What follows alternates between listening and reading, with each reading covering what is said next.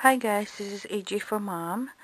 So um, I wanted to show you guys how I'm gonna make this because I know I've been showing a lot of clothes, uh, doll clothes and showing the picture. You're not really showing how to make them. How do we know if it's you making them or not? So instruction and so far they are very clear um, to do your They piping. don't, uh, Now the piping came with four pieces and you have to sew them together.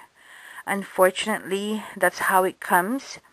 And just in case you guys come across this in four pieces to fit the the sheet here, the the panel sheet.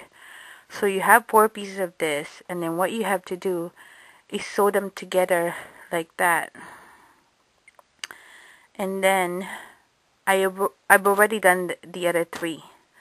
So when you when you sew this, you have to sew them together. It's not actually easy to sew them together because you have to make sure that these are lined up.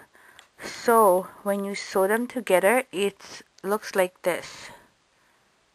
If you can see that.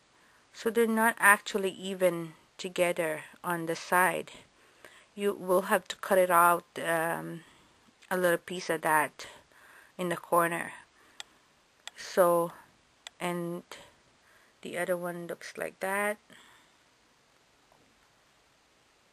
So we'll